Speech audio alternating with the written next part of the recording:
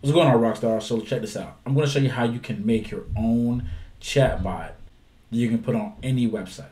Not only can you use it for any website, when anytime someone clicks that link, it's going to automatically put them into the bot and put them in a sequence that's going to get your results. So first, we're going to go to automation. We're going to click Start New Automation. We're going to hit Start from Scratch. This window is, is great if you kind of don't know your way around.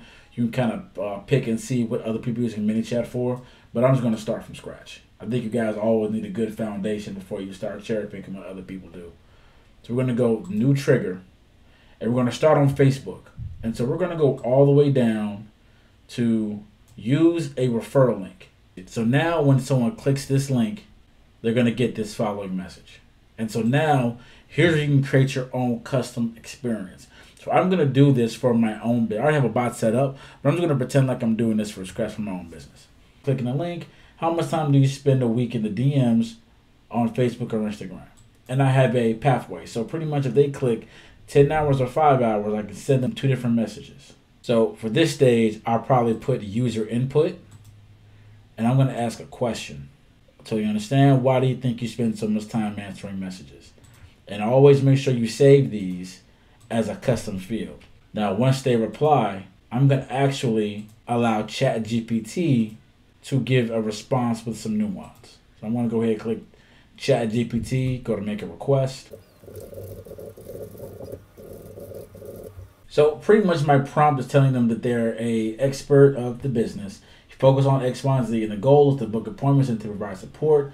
We're going to talk in a friendly tone, and then we're going to use the answer. So the same answer they put in, but the last input, we're going to let them reply to this input here. We're going to title this Chat GPT output.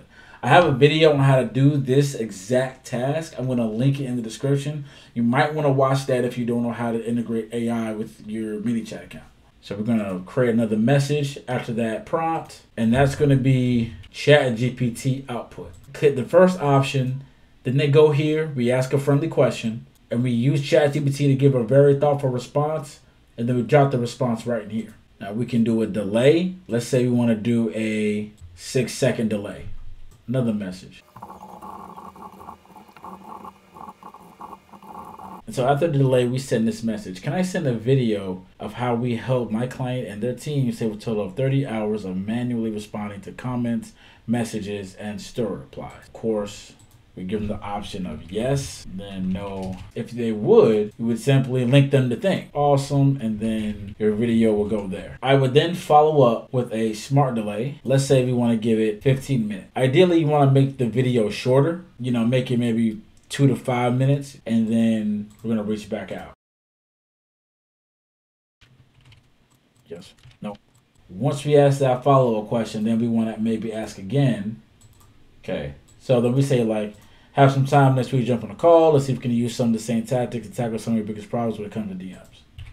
Now, I don't recommend using an add button for this stage because if they're on desktop, they're they're gonna see like this button is gonna show up as something like get update and then you kind of kill the flow. So definitely just leave this here and then put an actual link right here in the message. This would be an example of an entire flow, like very short to the point. If you have more of expansive script, you can put that in here, but this is how it would really flow. Now, I know you what you're asking. You didn't answer any of the no's to any of these, which is correct. You have to make sure you do that. I my rule of thumb, once they say no, you handle objections.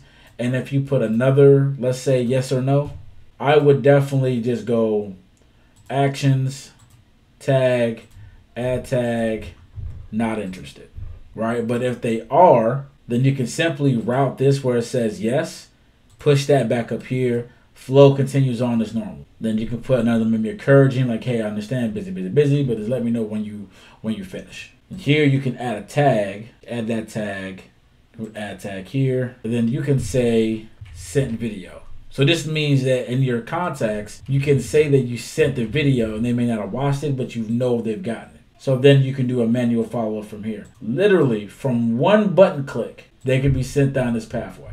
For demonstration purposes, I'm not going to create a whole secondary flow for this. I would, but I want to, you know, get show you guys how you can use a chat bot, the link click to get someone to your ideal result. I'm gonna hit update. So I'm gonna take this link and I'm gonna open it in the incognito window. Again, this is gonna open straight to Messenger. So as you can see, right when I click that link, it sent this message right here. Now I can click 10 plus hours and it's gonna send right through that flow.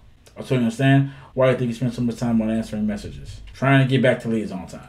And so this is the AI response. So it kicked one. I probably could have did a better job refining the parameters. Hey there, we totally understand the importance of getting back to leads promptly. Our team of leads is dedicated to ensuring that you not only get back to leads on time, but provide you with the necessary support along the way. Here, this next message was that secondary follow-up message. I can pick between the bottom. So yes, I would. Video goes there, and then happens with that delay. So as you can see, from a link click, you're literally going to have somebody pull up their messenger, and the bot's going to flow on from there. So you can put this bot anywhere. You can put this bot in an ad. You can put it in a Facebook group. You can put it on a YouTube description. So the people who are watching this video right now, literally go to the description and you will see this exact same flow. So if you want to know how we kind of build these in a more advanced way, definitely check out ManyChat Magic at the bottom, which the entire course is going to go through the A to Z on how to set up your chat bots for Facebook and for Instagram. Thank you again for your time. It's Rock, and I'll see you on the next one.